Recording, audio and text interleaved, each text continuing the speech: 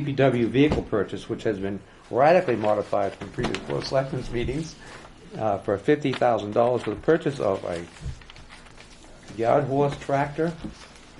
One more back. Uh, Do I have a second on that, please? Almost a- Okay, we have a motion by Tim Jones, seconded by Fifty thousand dollars is hardly worth talking about. Steve Henderson, and the amount, Barbara, was fifty thousand dollars.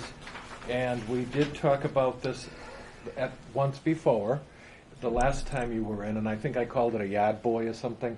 Yeah, yeah. It's a Close yard- enough. A yard horse, whatever, but we did talk about this, and, and anybody have anything they'd wish to say about this? No.